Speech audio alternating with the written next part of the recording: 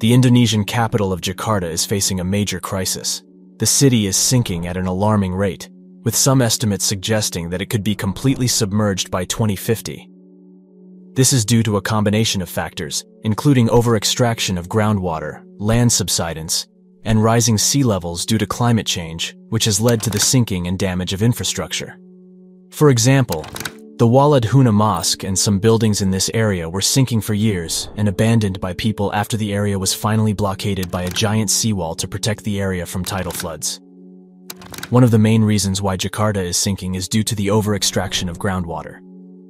The city relies heavily on groundwater for its water supply, with around 60% of the city's population relying on wells for their daily water needs. However, the over-extraction of groundwater has led to the depletion of aquifers, which has caused the land to sink. This is because when water is pumped out of the ground, the weight of the overlying soil and rock compresses the aquifer, causing it to sink. Cleaning the rivers is also a huge challenge, as well as human waste. Most of the 13 rivers have been contaminated with industrial chemicals, including heavy metals, and it could take years just to stop the ongoing pollution. Another factor contributing to Jakarta's sinking is land subsidence. Land subsidence is the sinking or settling of the ground surface due to a variety of factors, including the removal of groundwater, the weight of buildings, and natural geological processes. In Jakarta, land subsidence is occurring at a rate of up to 25 centimeters per year in some areas, which is one of the fastest rates of land subsidence in the world. This is causing significant damage to buildings and infrastructure in the city and is also exacerbating flooding during the rainy season. Rising sea levels due to climate change are also contributing to Jakarta's sinking. As sea levels rise, the city's coastal areas are becoming more vulnerable to flooding and storm surges. This is because the land is sinking at the same time that sea levels are rising, which means that the city is effectively sinking twice as fast.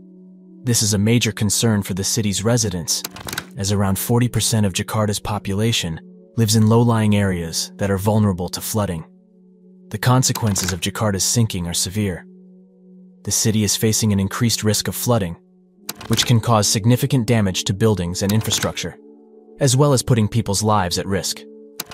The sinking of the city is also causing damage to roads, bridges, and other infrastructure, which is affecting the city's economy and making it more difficult for people to get around. In addition, the sinking of the city is causing saltwater to intrude into the city's groundwater, which is making it more difficult to access clean water.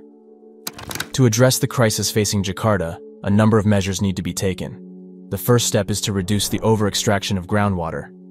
This can be done by promoting the use of alternative sources of water, such as rainwater harvesting and desalination. The second step is to address land subsidence by regulating the construction of buildings and infrastructure, and by undertaking measures such as land reclamation and the injection of material into the ground to fill voids. Finally, Jakarta needs to address the impact of climate change by reducing greenhouse gas emissions and promoting adaptation measures, such as the construction of seawalls and the development of early warning systems for flooding.